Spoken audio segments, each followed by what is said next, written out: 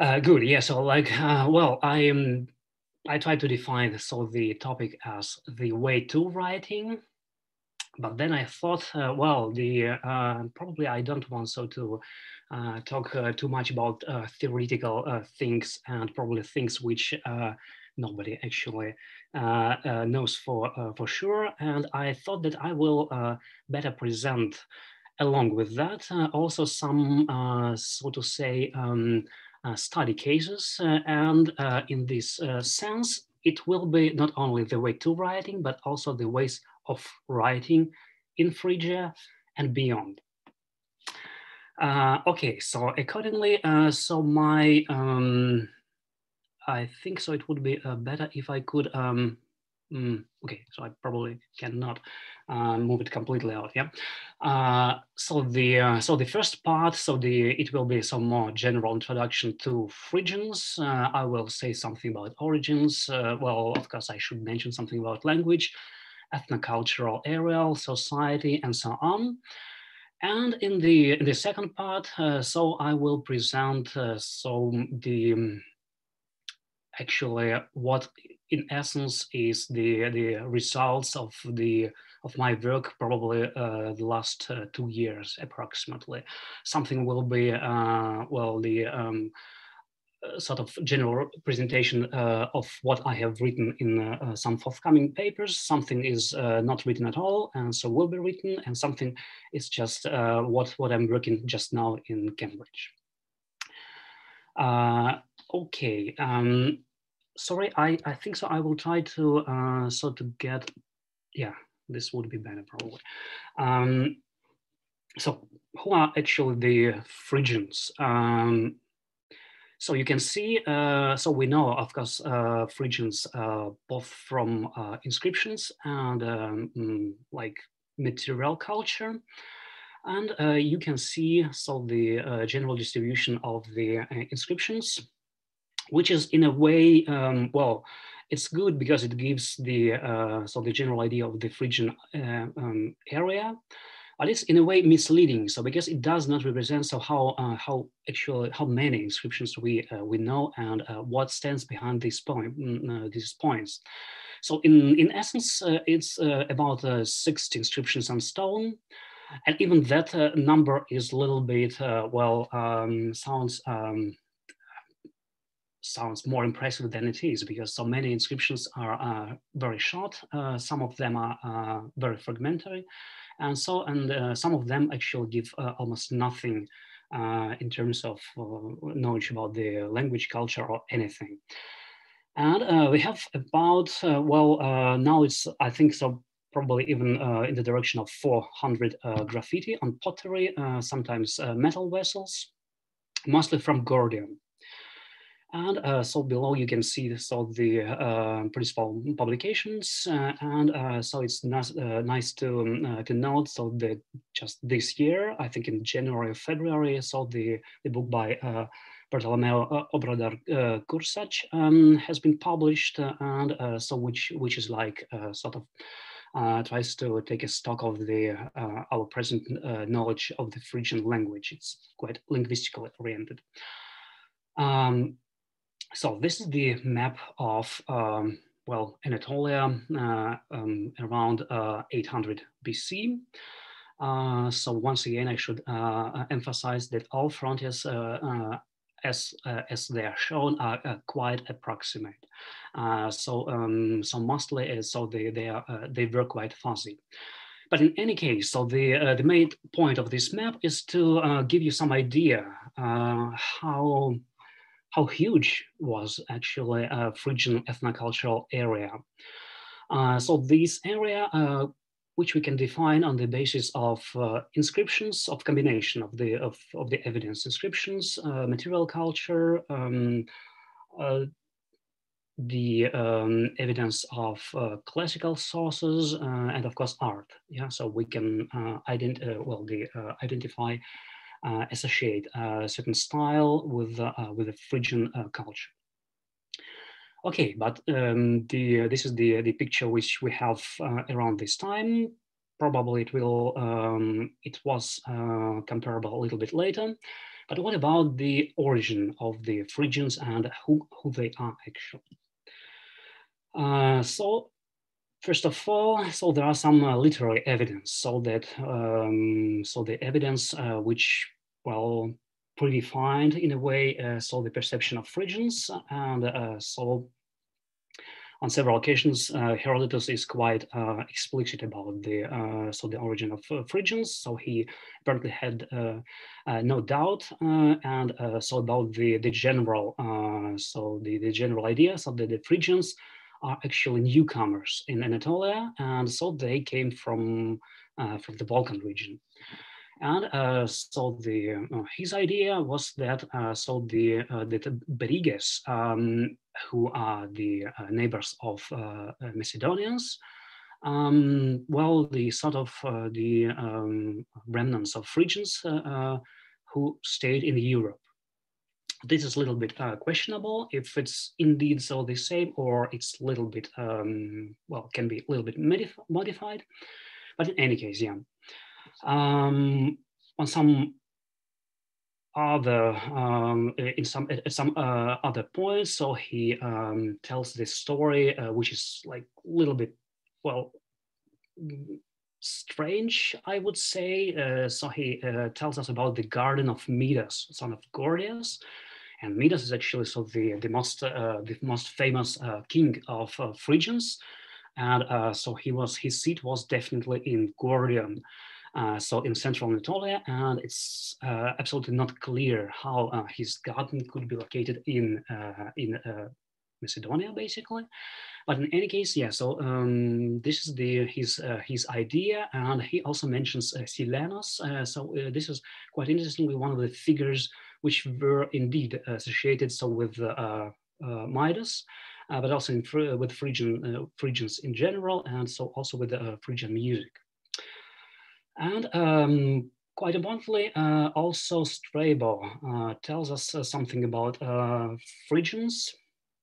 And um, so in so this this passage and some other passages um, in a way, well, so they are formulated. So um, I would say, I would term it a little bit more scientifically.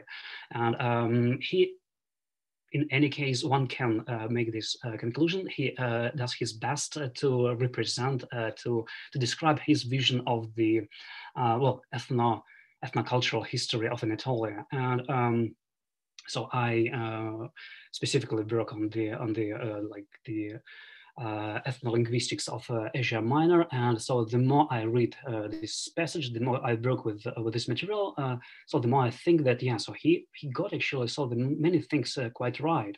So in his way, but still, um, so I um, probably uh, cannot modify too much his uh, picture.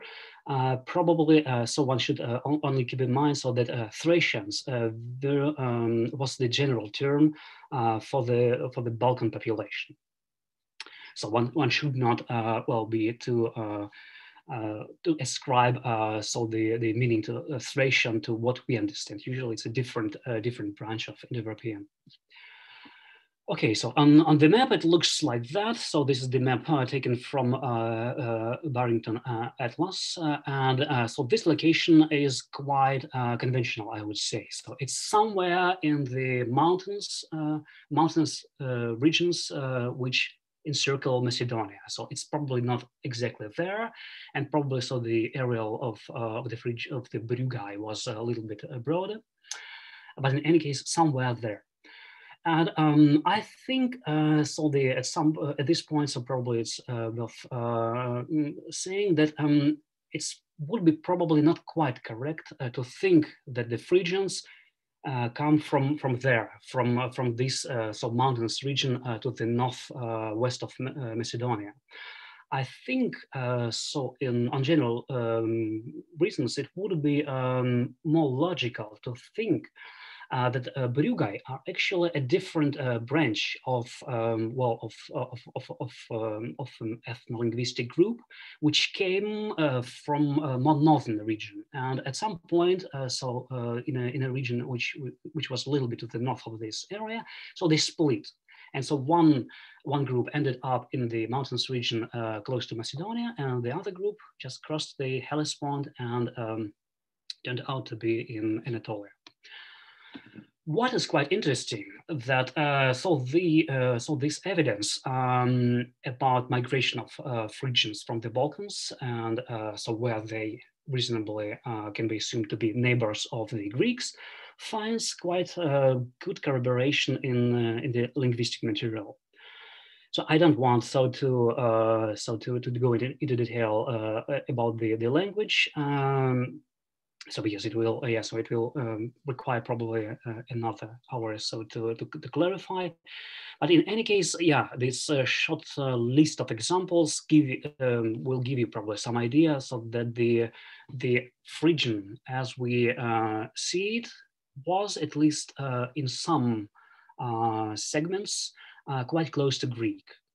Well um, one of the probably one of the most striking uh, features is the uh, development of the laryngeals, which uh, well, as far as one can uh, one can see, uh, quite exactly corresponds to that in in Greek, and uh, which was the reason why many words sounded well either exactly or nearly exactly as they sounded in Greek as onoman, uh, deos for theos, um, or aner, which is uh, quite exactly corresponds. And uh, so also uh, there are some morphological things which are quite strikingly Greek, uh, for example, tetikmenos, uh, whatever it means.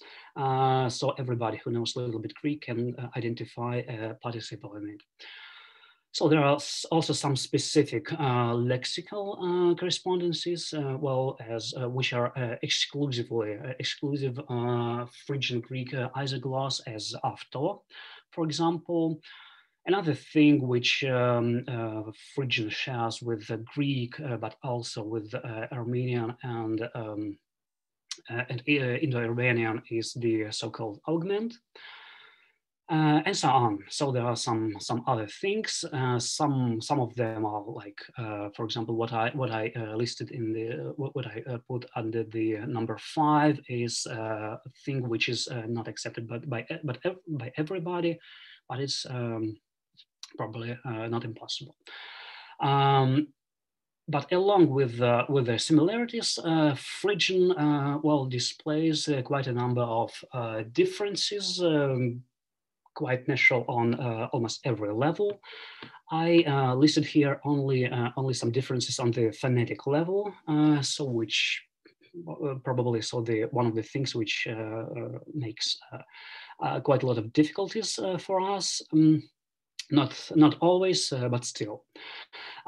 so one of the things was the loss of the um, old uh, Indo-European uh, aspirates um, so which uh, which just uh, so they uh, just lost their aspiration and so, so, this is the for example one of the things which is uh, responsible for this difference uh, between uh, Fruges and Briges or Bruges. so the it's quite a strange, strange thing. Uh, so because finally, uh, so what we would expect in Phrygian would be uh, Bruges. Uh, so this is the uh, thing, uh, but it's quite unclear why Greek preserved this form and not Bruges, which which we, we would expect. So the and um, quite interestingly, but also uh, in a way very logical uh, that uh, so at least this phonetic feature uh, Phrygians, uh, Phrygian uh, seem to share with the Macedonian, and so Macedonian is a, well the separate question and quite a difficult and um, and muddy question in itself. what what is that? But one of the things uh, which which is uh, well adduced uh, to demonstrate the difference with the Greek uh, and demonstrates that, that, the Macedonian is not simply a Greek dialect is the uh, forms so of like for example personal names as uh, Berenike instead of Ferenike which is uh, so behind which stands exactly the same uh, phenomenon of the loss of aspiration. And uh, apparently, so the uh, uh, the second point, uh, this is the point which I would um, one of the most problematic actually uh, point and um, which might be connected so with the uh, with the Anatolian substratum influence. I'm not quite sure. So the so the um, what the, the situation how I represented in the uh, in point two basically follows the the representation by Lubotsky and Ligorio. Um, and um, I would agree with that uh, mostly, but I think that uh, the situation uh, could be a little bit different. And uh, I would not exclude that uh, Phrygian uh, existed in a number of dialects already as early as 800 BC. so the um, reflection of the Proto-Indo-European media might be actually different in different dialects. And uh, so that might be one of the things uh, responsible for, for this uh, like um, little bit chaotic situation, which, seem, we, we, sometimes it seems to be. Okay, and uh, but not only language, uh, but also um, some indications of material culture seems to uh, confirm uh, the, uh, the idea so that the Phrygians uh, migrated from the Balkan region to Anatolia. And this is the so-called Knobbed or barbarian wares, uh, found most uh, most famously in uh, Troy 7b. Sometimes it's specified even to 7b2, but I think so they are already present in some um, in some quantity in 7 in uh, Troy 7b1, uh, so which is uh, just just after 1200 BC. And uh, so it's quite uh, obvious that uh, so some sort of migration indeed um, has taken place just after the, well, what we term the end of the Bronze Age.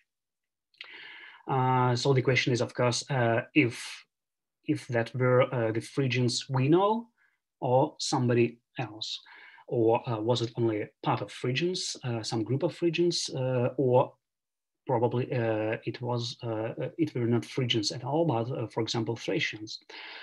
Um, in any case, there is another problem which um, should be taken into consideration, and so the the point is that we do not know much about the North western part of Anatolia in the uh, Bronze Age. So basically, so we uh, practically uh, all material which we have uh, comes from Hattusa.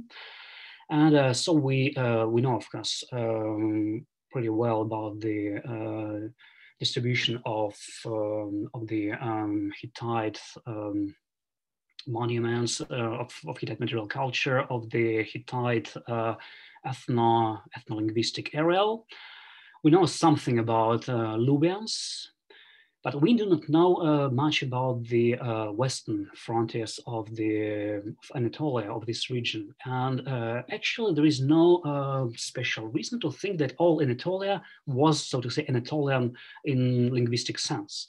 The, uh, the part which, uh, which was quite close to the Balkans could be already in at least partly, so to say, Balkanized.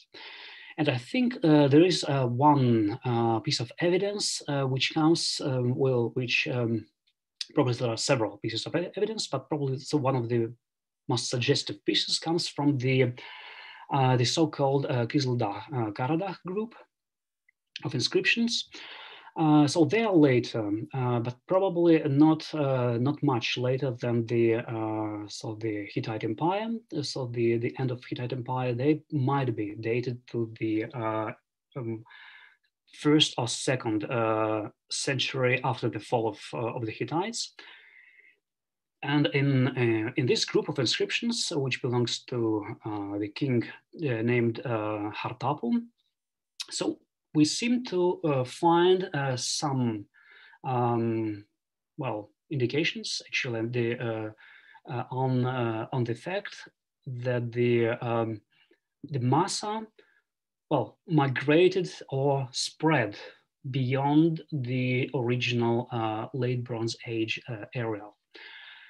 And well, the, of course, this is the um, matter of interpretation, but it seems um, to um, that uh, in Kizildag form, so the uh, the main uh, the, the, the main uh, idea which is expressed is not about some conquest, uh, but uh, rather about consolidation of um, of a kingdom or well yeah so let's term it kingdom. I don't think it it could be termed as empire. And uh, Hartapu is not, not a king coming from outside uh, of the land which is mentioned in the inscription, which is Massa, but he is a king of, of Masa and who managed to probably consolidate uh, some of the some uh, some territorial uh, quantity in, in at some point. Uh, so the same uh, um, seems to be present also in another inscription of, uh, of, the, of, the, same king, uh, uh, Karadag, which is located so pretty much in the same region. so this suggests that so the late Bronze Age Masa, well, the location of the late Bronze Age Masa is not 100% clear and its extent also a little bit questionable, but still the connection with, with the region, which was uh, called in, by Greek authors uh, Mysia, seems the most probable uh, solution.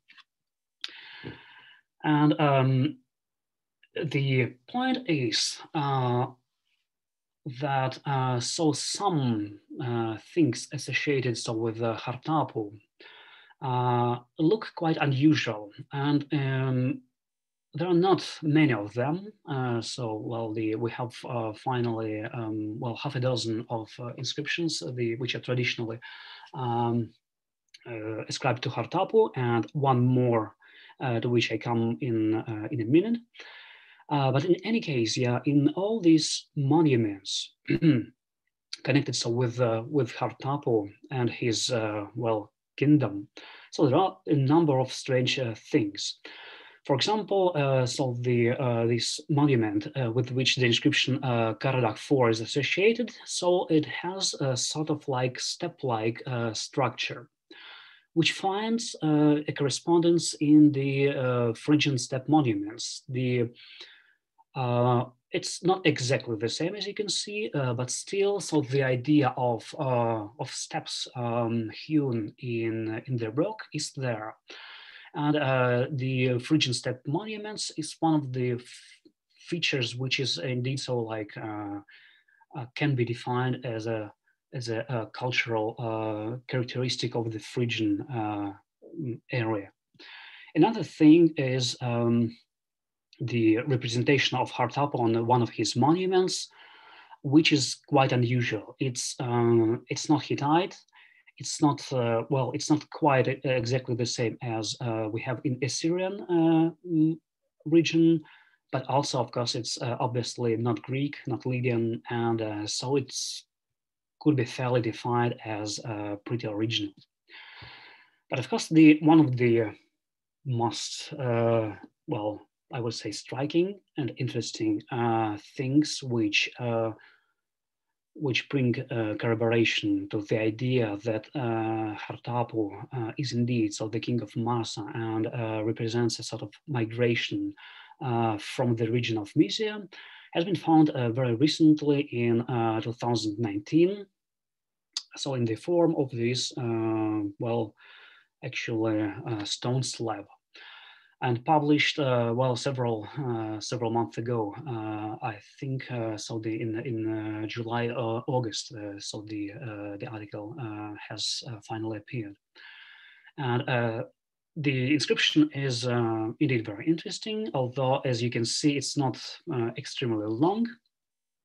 And uh, yes, on the just to show you on the map, so where the uh, Turkmen Karahöyük is, so this number one, and it's just to the north of the uh, and Karadag, uh, so the two sites uh, which were previously associated uh, so with uh, uh, with Hartapu. And uh, so this is the huge uh, huge site, and so although so one hasn't start, started the excavation yet, I think there are good chances that we are dealing so with the capital of the of the kingdom of Hartapu. Um, the uh, the inscription is indeed short, but well, a little bit longer than so the, the rest of the inscriptions which we have from from this king. Uh, I will not discuss the um, so the, the, so to say the main uh, historical uh, narrative uh, present in the second line.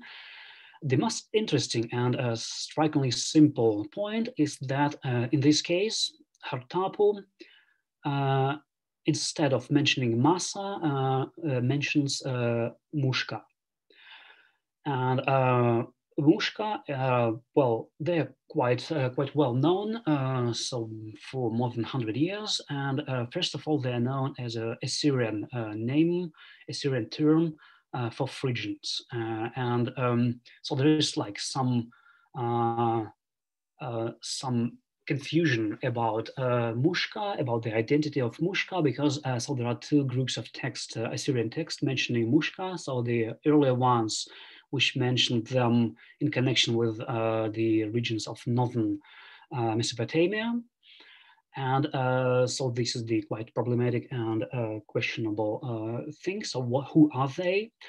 But uh, later, uh, so something like uh, three, um, three or four hundred uh, years later, Assyrian sources uh, mention uh, again mention Mushka, and in this um, case, in association with the personal name Mida. And of course, uh, so it was uh, identified uh, well long ago that so the Mida of Mushka is actually Midas of the Phrygians. And mostly. So this is uh, accepted, and uh, I think so. This uh, inscription, well, once again confirms this. well, if anybody doubt, doubted it. but what is interesting in this context is that Mushka now proves to correspond to, to Massa in other inscriptions of Hartapu, which is very interesting. And uh, I think it now it's the element which allows to uh, at least to formulate um, the hypothesis about the name, uh, uh, about the relationship of the names and the uh, and to bring further evidence about the ethnic or ethno-linguistic identity of Mas.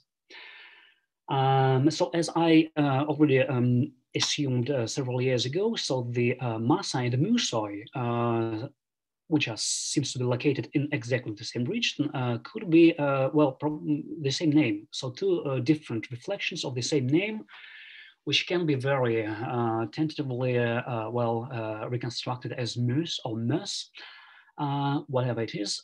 so the so you, we have these three forms, masa, musoi, and moisoi, and so we well, in, in some way should uh, uh, reconstruct a, preform which was able so to give all three uh, forms.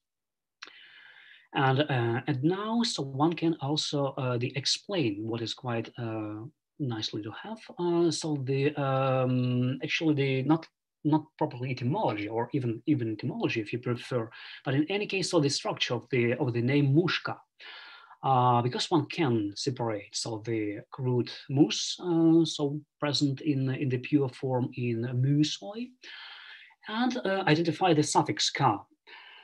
And uh, what is quite uh, quite interesting uh, is that the comparable things, the the um, extension with the ka suffix is found most frequently, not exclusively, but most frequently in the Balkan region. So the most uh, famous case is probably uh, so the the name uh, of Graioi. Uh, so which uh, which is a, a, well alternative form of Graikoi, which is the uh, the um, source of the Latin name Graiki. But the same is present also in a little bit different region of of the Balkans in Dakoi, who, who are known also as Daioi Sporadically, it's found also in Italy. So in the case of uh, Olsoi, uh, better known as uh, Volsky, but also, well, I'm not sure it's exactly the same uh, phenomenon, but might be comparable phenomenon. Uh, so present in the some doublets, which we have uh, in the case, for example, of uh, Skuthai or Skuthikoi or Moshoi, Moshikoi. So in this case, uh, so the suffix is different. So it's ik. uh, but the in, at least in Greek, so the uh, the two suffixes were in a way connected. So in in general, I would um, think that the um, story of Phrygian migration uh, might be uh, more complex than a single wave uh, just after 1200 uh, BC.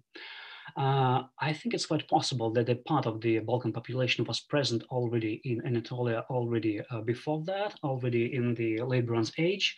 And what we have um, in the uh, the reflection of what we have uh, in the uh, barbarian wares is actually the next wave of the Balkan population into Anatolia.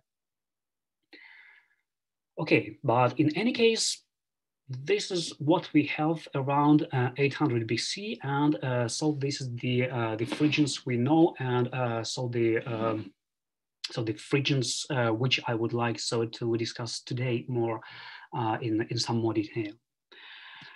Um, the area is huge, but as I already mentioned, so the it is not quite well covered, equally well covered with material. Actually, the there are only two regions which are explored in some, uh, well, uh, more or less thoroughly, or at least known um, by a, quite a significant number of, uh, of monuments, is Gordion, the Phrygian capital, and uh, Phrygian highlands. Um, the material of, uh, at these two sites are quite different uh, in, in a number of ways. Um, uh, in fact, uh, so in uh, so in Gordion, if in Gordion we have the proper, uh, uh, well-explored site, so with different layers. In the Phrygian Highlands, we have a number of um, well straight monuments, um, but still a significant number of them. so allows to well to identify some sort of pattern. So this is the uh, landscape uh, we have close to Gordion. And uh, so what you can see, uh, this is the famous Phrygian uh, tumuli. Some of them uh, are quite still not, well, many of them are excavated, some, some of them not.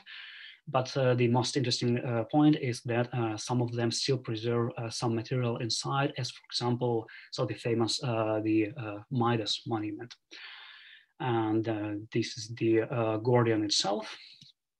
And uh, so this is how the site looks from, from above.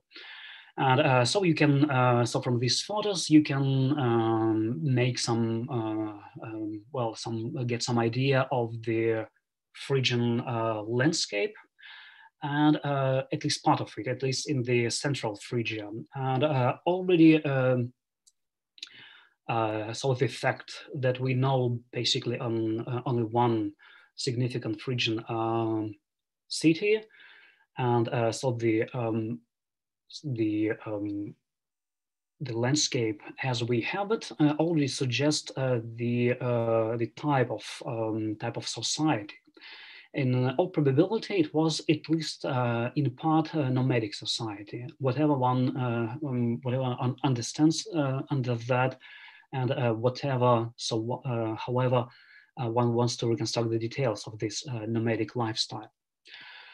The, um, the landscape of the uh, Phrygian highlands uh, was quite different, and uh, probably also the the way of life in this area was quite different.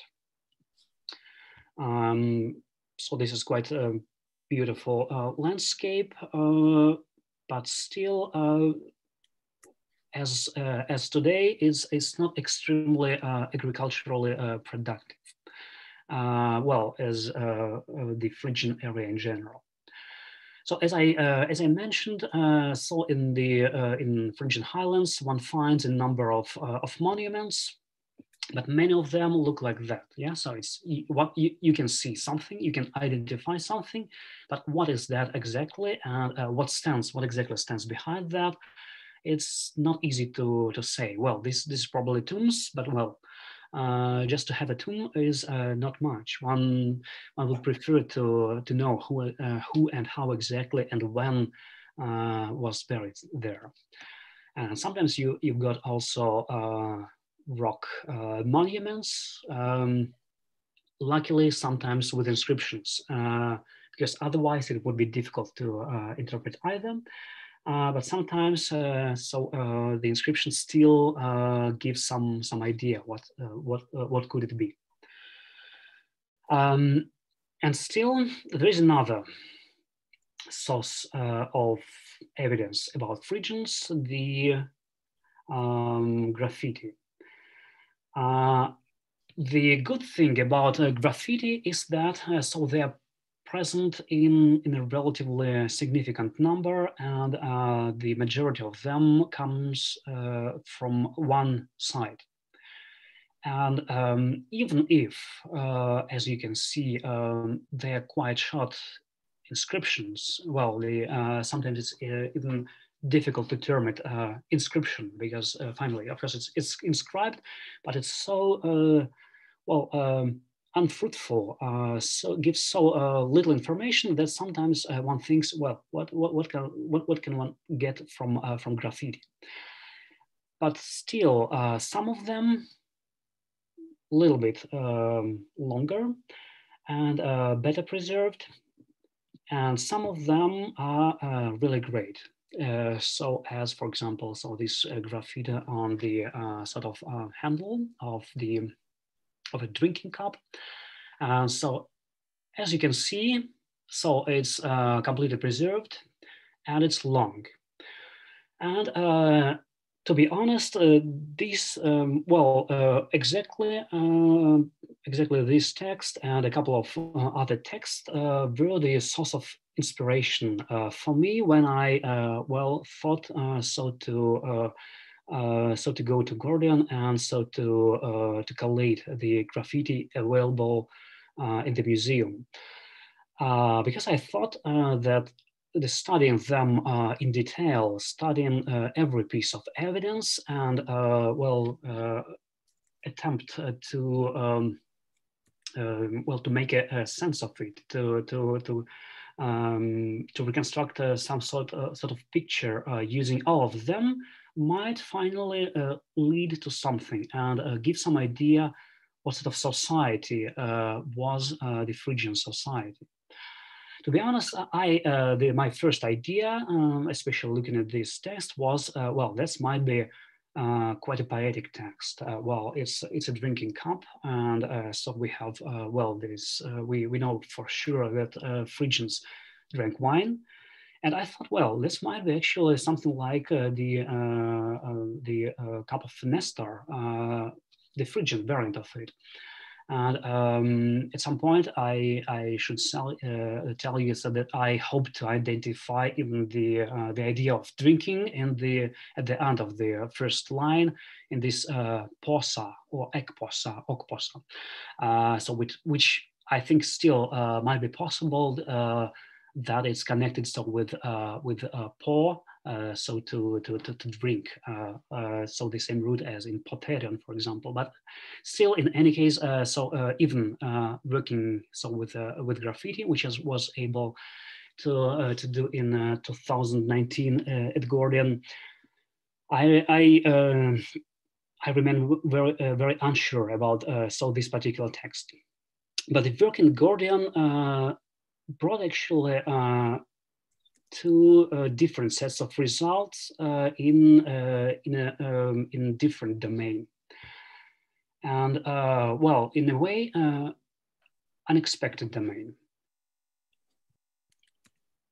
So the the general idea of the uh, of the graffiti from Gordion. So if you um, if you look in the original publication by well, um, the the publication which um, reconciles uh, all the evidence uh, by uh, Claude Brixhe, is that the majority of the graffiti are simply names, personal names, which is, well, um, quite, um, for, for linguists, it's of course not, not very uh, joyful material. Yeah, so you you get uh, well the uh, names, and so if you if you if you have no comparative material, so you you can do nothing.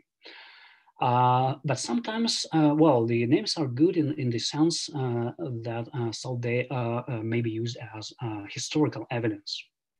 And um, so by, by some, uh, well, lucky chance actually, uh, so the uh, in uh, the campaign 2019, they have been found um, so the um, this graffiti, so which you which you can see on the lower part. Um, so with uh, with the sequence uh, which was um, already known from, well, nearly exactly in into other graffitis. Uh, so uh, one was uh, almost completely preserved, Dumas Taeya, um, well, it's completely preserved, but yeah, so the, uh, there was no certainty about the uh, if it's indeed so the first letter.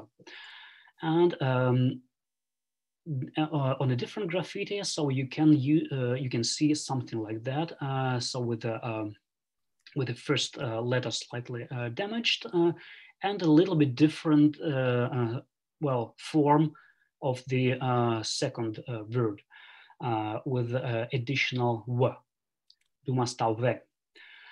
Um, well, for example, Brixhe uh, even does not uh, uh separate uh, so these words and uh, gives uh, uh, it as Dumas Taeya, so as a one one name.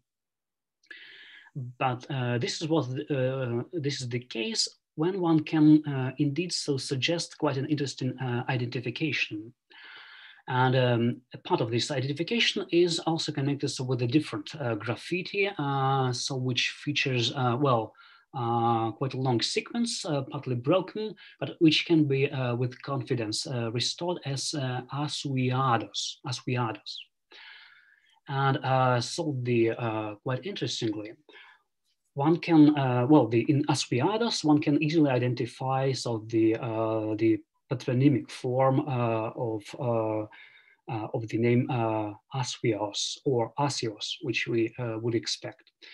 And interestingly, so the both names, Dumas and Asios, we find in, in Homer in a very well, in a very clear context, uh, which um, which uh,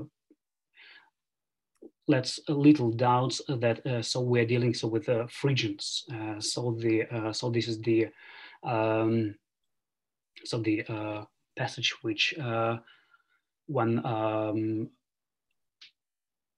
which which refers to um, to, to Hector, and uh, so at some point, so there appears a man so who resembles uh, Asios, uh, who was the uncle to Hostame Hector and uh, the brother of Hekabe or uh, Hekube, uh, how she uh, she's known in, in later text, uh, and the son of Dumas.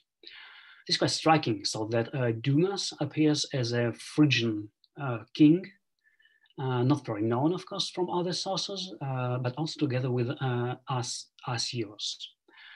And, uh, and now it looks like uh, that we have both names in the uh, graffiti from Gordion, um, which is on, as a matter of fact, on the streams of Sangarius. And um, well, dated probably around, well, I would say uh, around uh, uh, between 800 BC and 700 BC which is, according to some scholars, is um, quite close to the time of uh, when uh, Homer himself lived. And I think this is quite an interesting um, correspondence. And uh, well, it says not only uh, in, in this case, uh, not only about the Phrygians, but it's uh, tells us something about uh, Homer and the uh, the relationship uh, between the, uh, the, the the poem, the Iliad, and the historical reality.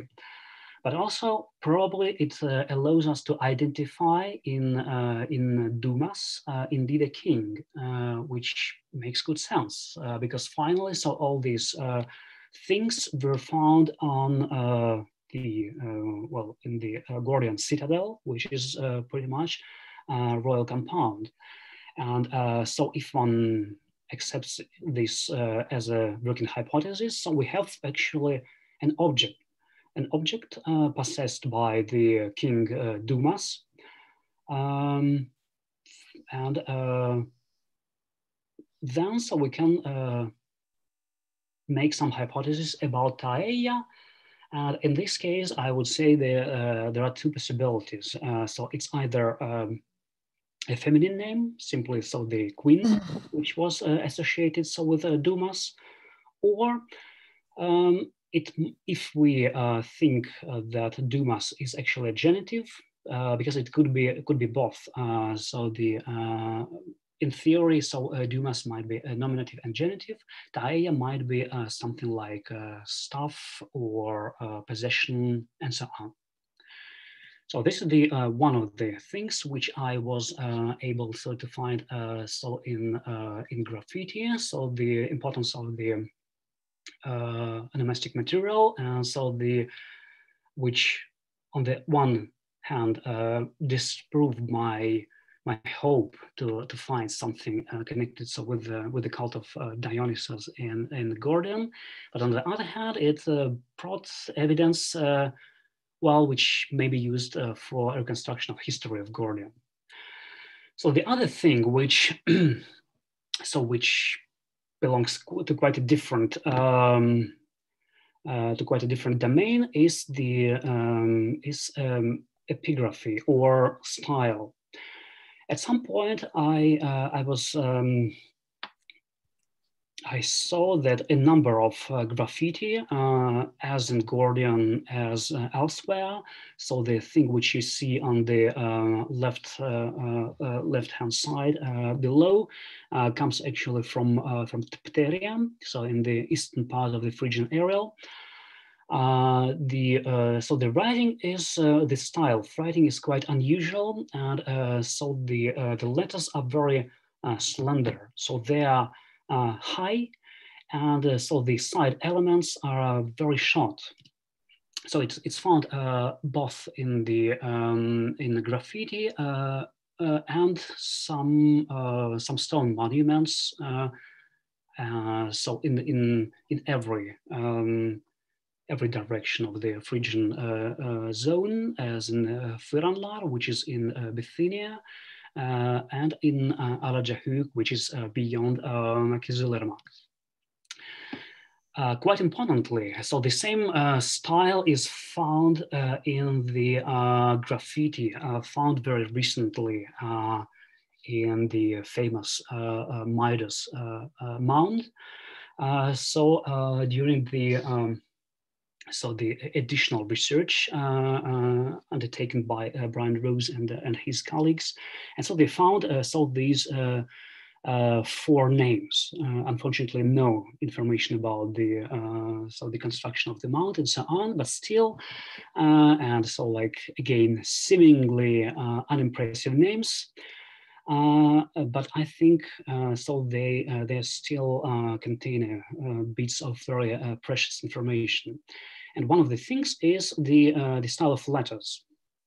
Uh, so the, uh, this is the same style, uh, uh, so which I would uh, term a slender style. And um, so I, so in, in a recent article, so I described it like, so the, uh, so in the, in the style, the vertical hasta are significantly longer and the oblique strokes when present are very short so that uh, the average width height ratio in the letters of, uh, of a structure, vertical, hasta, and oblique strokes is between one to five. Um, and uh, sometimes, uh, well, from, from between one to five and uh, one to three. Uh, and even wide letters as, for example, R are very lean, um, and the uh, the widest letter of the Phrygian and uh, in general so of the Greek alphabet, M, is uh, somewhat less than uh, one to uh, to two. And uh, so this style has a strong correlation with the earliest form of the Phrygian S, which is multi-bar or has a even snake-like form. Yes, yeah, so like going back to the um, graffiti of um, of the uh, Midas Mound, so you can see uh, so the how slender, for example, U uh, or uh, even delta. So the delta is is uh, very high, and so these uh, many many strokes of of sigma. What is very important uh, that the uh, the graffiti, the recent graffiti from the uh, Tumulus MM, so the they allow to anchor this style with well with um, quite a good precision around 700 um, 740 BC. So the which is actually the heyday of the Phrygian, uh, Phrygian culture and uh, literacy. Uh, what is quite interesting, uh, well, the, uh, that was the actual the idea which triggered so the this observation in me. So that the the similar style is found also in the in the Aegean. Uh, so in different uh, in different areas. Uh, so the, the, as far as I can see, there is no um, no exact or clear correlation uh, between the, the uh, uh, place uh, and time of find, but in any case, all of them are very early. Uh, so, uh, well, around shortly, slightly before or slightly after 7, 7 BC. And so the something like that you can see on the famous Dipylon um, jug the um, dedication uh, and uh, also in Rhodes. And uh, so I would not make a direct uh, link, uh, chronological link between the uh, Phrygian style and the Greek style, but I think the so the idea that so the of the relatively early phase associated so with this slender style uh, holds uh, for both uh, for both regions.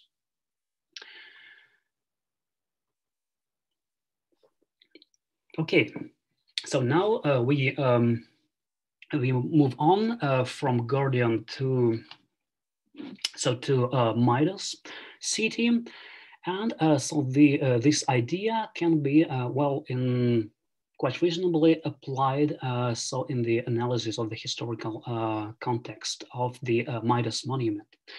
Uh, this is the, the, the first and, the, and main uh, the monument of the uh, Midas city. And it has two inscriptions. So the one is on the on the upper part and slightly above the monument itself, and there is one which is on the on the side of of the of the monument.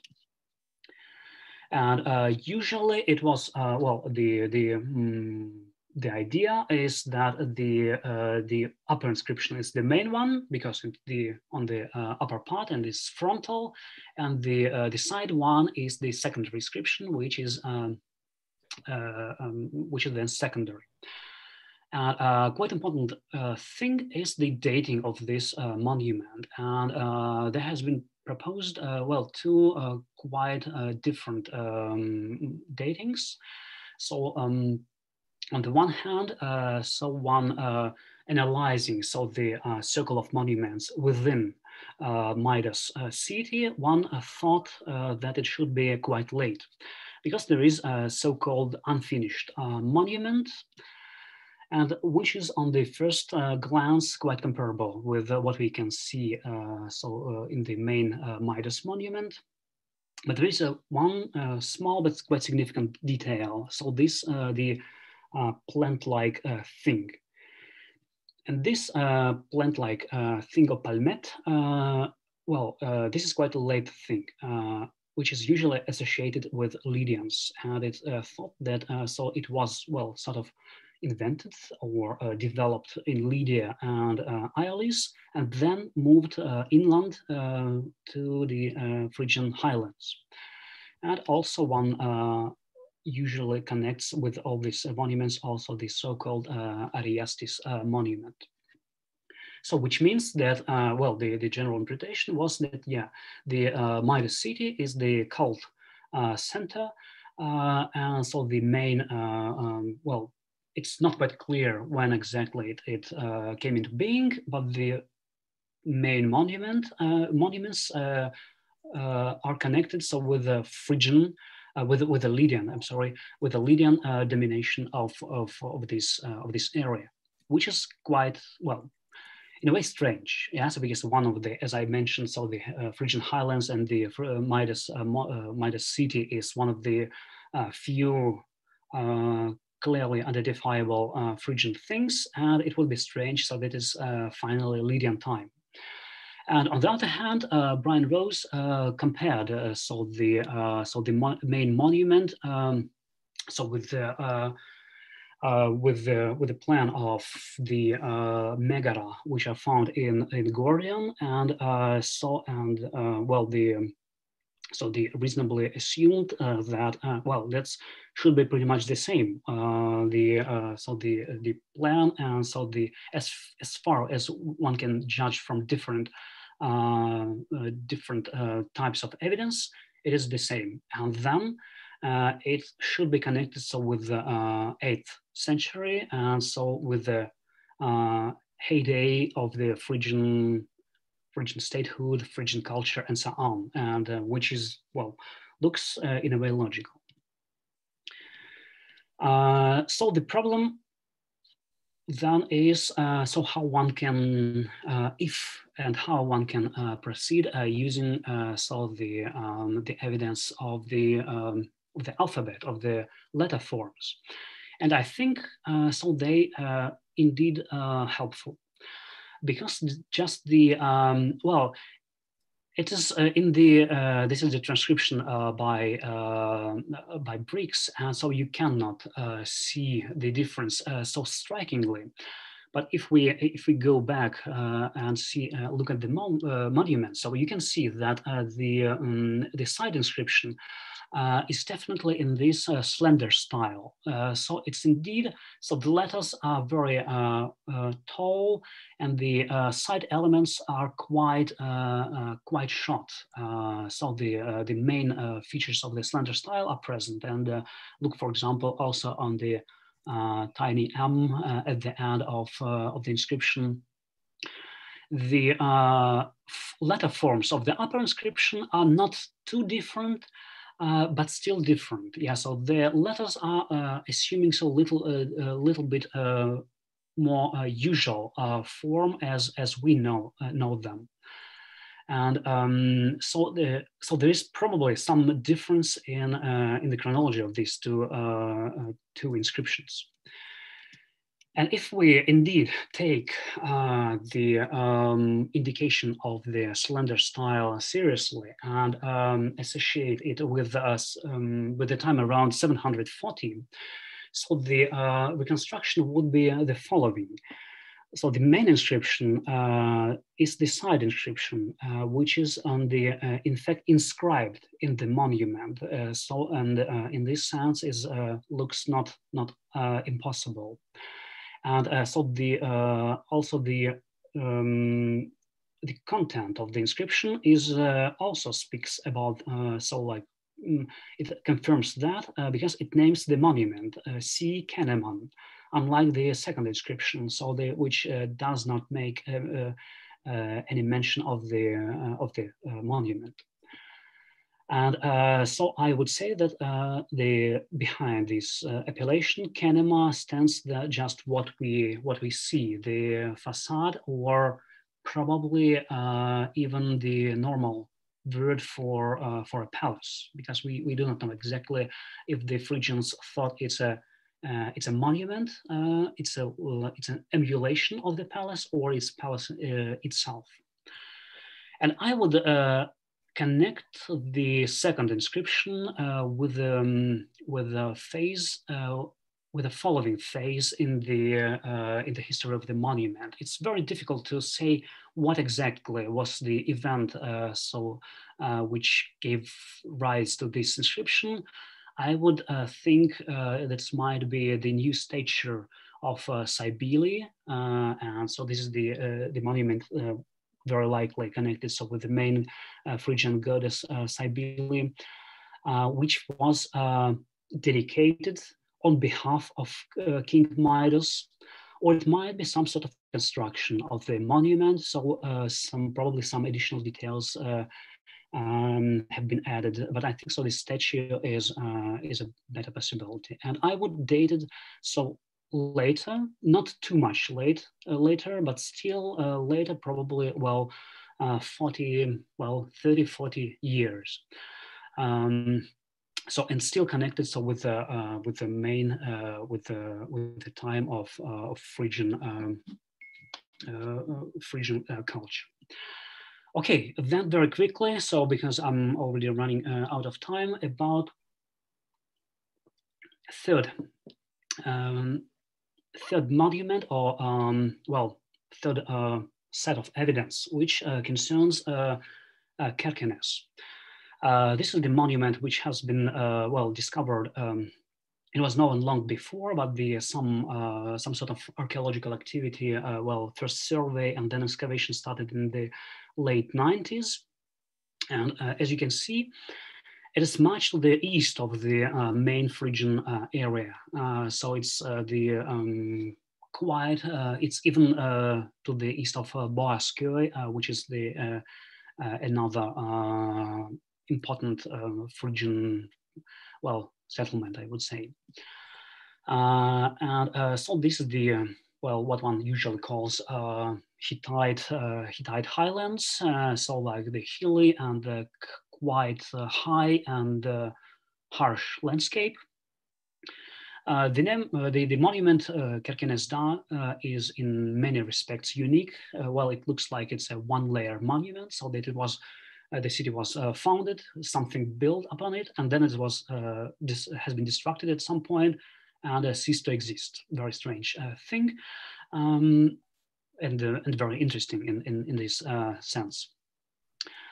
And uh, probably most uh, intriguing thing that uh, an inscription has been found there. So just one, well, it depends how one uh, terms inscription is actually one monument with a uh, well with a series of inscriptions. It's it was found just in this uh, so-called uh, Cappadocia Gate, and uh, so the um, so the uh, sort of monument which has been found in in these in in pieces, which one can reconstruct well which which we are proposed to reconstruct like that. so a sort of well uh, pedestal with a statue on it. Uh, and uh, this sort of, well, the, the lower part of the monument is provided with inscriptions. And the um, the general idea about the site, about the identification of the site, um, has been proposed all, already quite early. Well, actually, uh, Geoffrey Summers uh, only took up uh, uh, picked up the idea which uh, which was expressed earlier. In uh, in any case, so his idea was that the site corresponds to Pteria. And uh, this is, well, quite unusual site, I mentioned only once uh, uh, in Herodotus as a battle, uh, so between the, uh, the forces of uh, Croesus, the Lydian king, and Cyrus. And usually, so as you can see, well, it, it is in a way associated with Cappadocia, so one of the few sites which are actually associated with this region by Herodotus. Uh, although, uh, so uh, he does not uh, tell us exactly where, uh, where it was. And uh, in addition, he mentions some Sinope and also Black Sea in connection with that, so which is quite confusing the picture. In any case, uh, so the idea of Geoffrey Summers is that the site is uh, is Pteria, and uh, so and uh, which uh, which has quite a, a lot of uh, historical implications. It means that the site is quite recent. It's sixth century BC. Uh, it should be 6th century BC. So because it's uh, the site which existed about, uh, well, 30, probably 40 years, probably even less than that. And if it, it has been dis destroyed so during the campaign of, of Cyrus, it should be dated to the 6th century BC. The problem is that the uh, this inscription is uh, very different uh, from what one would expect for the 6th century BC. Uh, as you uh, can uh, already see yourself, the inscription has very prominent features of this slender style. I would say this is the most the, the slender uh, this slenderest inscription uh, uh, of all. So look, for example, at the E uh, in the lower part. So it, it is really uh, uh, like a fishbone, uh, very, very high uh, upper uh, vertical hasta with a lot of small um, strokes added. And look at the at the sigma, which is again sort of well the snake-like letter. And um, quite interestingly, uh, the uh, even in this uh, in this inscription, which is supposed to be monumental inscription, the scribe is uh, very irregular. So sometimes you can find uh, seven uh, strokes with air, sometimes four, sometimes three, sometimes five, and the same also with the sigma.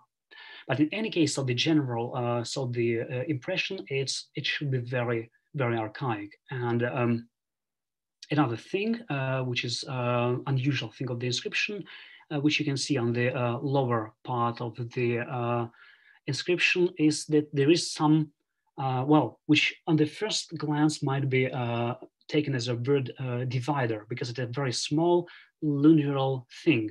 well, a small thing, but on the other hand, so we know how the uh, uh, world, uh, word dividers looked in the Phrygian inscriptions, and they are not like that. So it should be actually a letter. And uh, one another indication uh, which uh, speaks for the certain irregularity or uniqueness of the inscription. Uh, this is uh, one thing, and the other thing is um, the name, which is found uh, in this inscription. And um, so the um, in the in this uh, in all these pieces uh, of inscription which uh, which has been found. So one one could read two actually longer sequences, and one of these sequences is Massa Urgitos Dacor Svebra. Uh, the uh, so the bird uh, well the this is the um, the division by by bricks and so there's every reason to to accept it so because Dacor can be identified is a verbal form connected so with, uh, with the verb uh, da or dak. Uh, so which is either, in any case, uh, uh, um, Indo-European, uh, which would be either put or made, which which is what would uh, what we would expect in this context. And uh, Svebra is not quite clear, but it looks like Massa Urgitos is just the personal name with a patronymic. So Massa is a name, Urgitos patronymic. And uh, so the thing is that in the uh, in quite a different area, in and uh, quite a different uh, type of monument in the hieroglyphic Luwian inscription Porsuk, so we find uh, a name which is strikingly similar. In this uh, case, I would say that the striking is not an exaggeration because this is a pretty long sequence. and the name can be read as Masa Urhisas. And this is the king uh, with whom uh, the author of this inscription of Porsuk, uh, Parchviras, is in a way associated. So he doesn't uh, say anything, any details about the, uh, so who is this king, but gives his name, Masa, uh, Masa uh, Urhisas. And uh, it looks like, so given the uh, uniqueness of this uh, sequence and the, so the, its length, I think there is every reason to think this is the same name and uh, the same the same person who is uh, referred in in both cases. And um, and I would say uh, the the name is uh, is not uh, not Luwian. And in fact, in uh, all names in the in the description of Porsuk are not not Luwian. And so just not to give you too much detail. So Atisa is uh, quite obviously the same as Attis, which is uh, the most one of the most uh, uh known Phrygian names. And uh, so I would uh, say that so along with the evidence of the epigraphy of the inscription, the this piece of evidence suggests that the inscription is actually one uh, contemporary, uh, contemporary with the uh, hieroglyphic Luwian inscription of Porsuk, uh, whose dating is not uh, entirely clear, but in any case, it's before 7, um, 700 BC. So it's, it's very early.